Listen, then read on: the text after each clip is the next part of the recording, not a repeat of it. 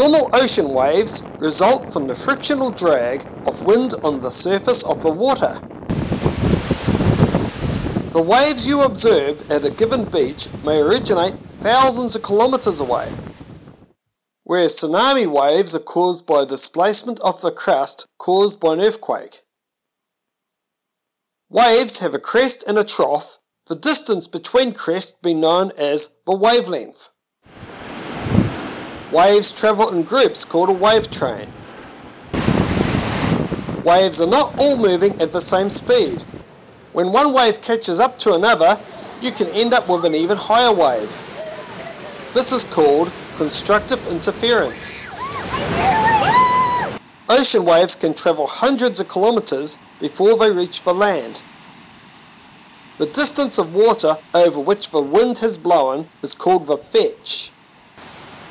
A long fetch will result in big waves, and big waves carry with them a tremendous amount of energy. Storms create destructive waves, thus a lot of erosion takes place during storms. Even on calm days, it is possible to get big waves, as these ones have been generated in a storm somewhere else some time ago. Waves that have been generated somewhere else are called swell.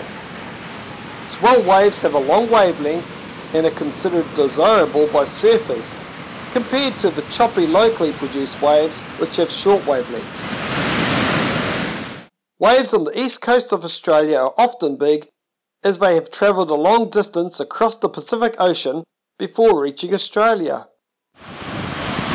Waves that build up coastlines by transporting and depositing sediments on the shore are called constructive waves. So what happens when waves reach the coast? There is a maximum depth to which waves will cause any significant water movement. We call this the wave base. Thus below the wave base, waves have no impact on the sediments below. However, when waves enter shallow water, the usual orbital motion of water becomes elliptical. The waves slow down and become steeper and higher. This is called shoaling. When the waves become too high relative to the water's depth, the waves break. Since the water is shallow, the breaking waves are able to push the sediment up towards the beach. This flow of water moving up the beach is called swash. The returning flow of water down the beach is called backwash and also drags sediment back with it. The offshore topography of the seafloor will impact on the way waves break. Spilling breakers have wave crests that spill forward, creating foam and turbulent water. They occur where waves travel over a wide, gentle sloping seafloor. Plunging breakers have the classic barrel shape where the waves curl and the crests fall forward with a lot of force. They occur on steep beaches, on sandbars and the outside edges of reefs. In these places the waves are moving from deep to shallow very quickly and they have to slow down fast. Surging breakers are waves that rapidly surge up a beach without appearing to break. They occur on beaches where the beach profile is too steep for waves to break properly. These types of waves have a very strong backwash. The shape of the coastline also affects the way waves travel towards it. When waves approach an uneven coastline of bays and headlands, they are refracted and become increasingly parallel to the coastline.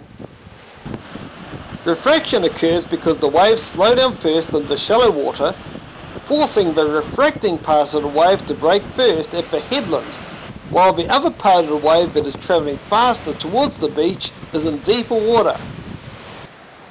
Refraction increases erosion at headlands and deposition tends to take place in the lower energy bays and beaches.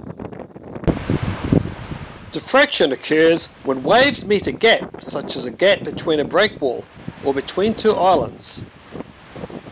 Once past the barrier, they spread out in all directions rather than carrying on straight.